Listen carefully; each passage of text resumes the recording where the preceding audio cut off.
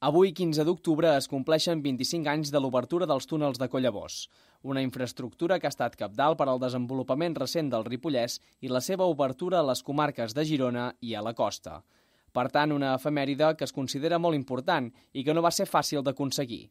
Des del 1984 es va intentar projectar i 10 anys després va ser una realitat. Jo recordo que al Parlament de Catalunya l'oposició, sobretot el, el PSC i el PSUC, que hi havia aquella època, varen fer interpel·lacions perquè es gastaven tant diners en una comarca tan petites, no? que es gastava poc a l'àrea metropolitana i que es gastava molt a les comarques petites.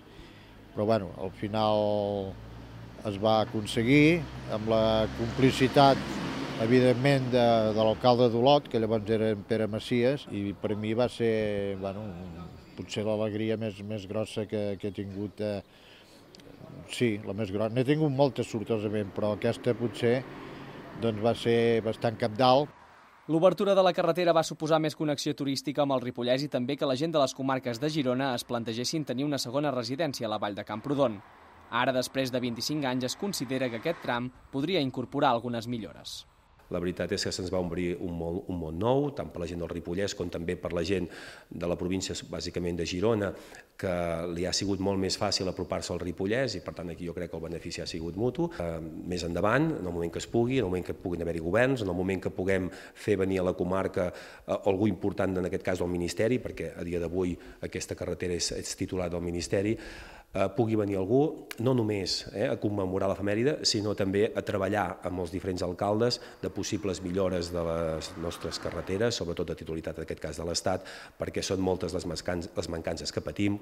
Tots els pobles de la vall se'n van beneficiar. Ja ni plantejaves anar a Olot i menys a Girona. Actualment, a Sant Pau de Segúries i, i, per, bueno, i la Vall de Camprodon també pues, tenim ara, podem anar cap a Barcelona via Ripoll, Vic o Girona passant per Olot, Besalú. Inicialment el tram s'havia anomenat Túnels del Capsacosta, però Jaume Soler va ser el principal impulsor d'un canvi de nom que va començar a reclamar durant la seva construcció i pel qual ha hagut de lluitar fins avui en dia. El túnel de Capsacosta anteriorment s'havia fet més cap al cantó de Camprodon, però per part econòmica es va fer per aquesta part. I per la qual jo li vaig manifestar que jo era Collabós i Cap sa Costa estava a 3 quilòmetres apartat d'allà on feien la calada. L'any 2013, Soler va haver de tornar a demanar que els túnels s'anomenessin de Collabós, perquè en alguns llocs tornaven a figurar com a Cap sa Costa. Ho va aconseguir i així perduren avui en dia.